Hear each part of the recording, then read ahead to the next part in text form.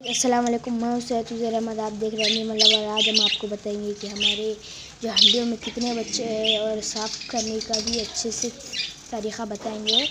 चलिए हम पहली हंडी निकालते हैं। आप ये देख सकते हैं कि हमारे पास ये सफ़ेद मादी है, ये सफ़ेद मादी। ये जा रही है हंडी में, वो हंडी को निकाल के आपको हम बताएँगे। आप देखिए।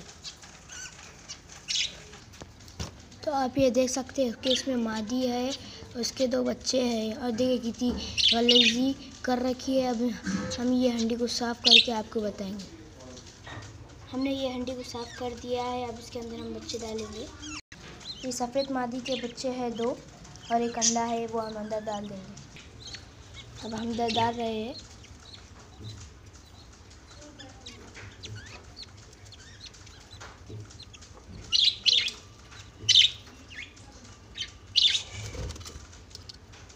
ये हमने अंदर डाल दिया है। अब हम उसको लगा देंगे।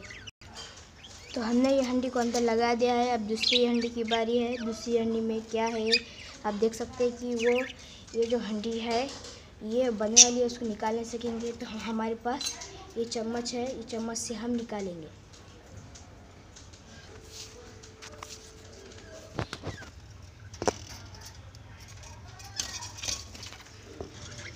तो आप ये देख सकते हैं कि हंडी साफ़ हो चुकी है। अब अंदर हम वो वो मादी के बच्चे डालेंगे।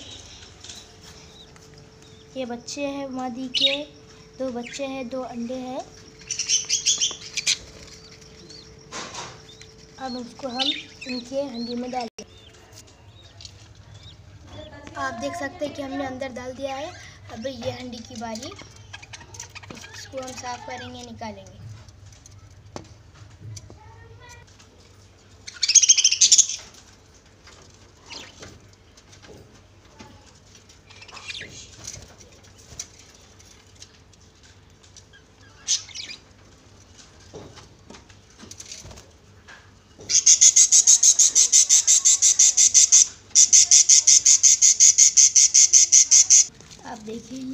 ये ये हंडी में के बच्चे हैं। अब वो हंडी को हम साफ़ करेंगे, ये हंडी को हम साफ़ कर देंगे।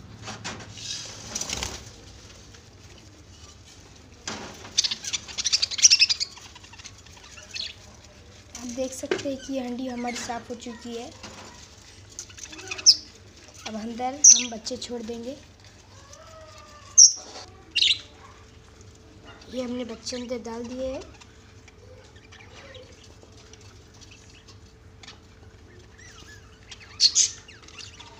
बंद हम अंदर हमारे हड्डी को लगा देंगे।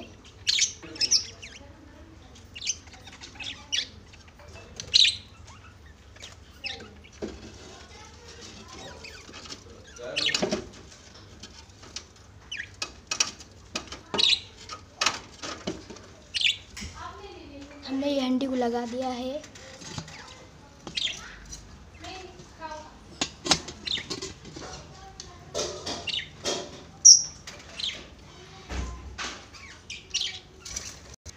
अगर से आपको हमारी वीडियो अच्छी लगी तो लाइक सब्सक्राइब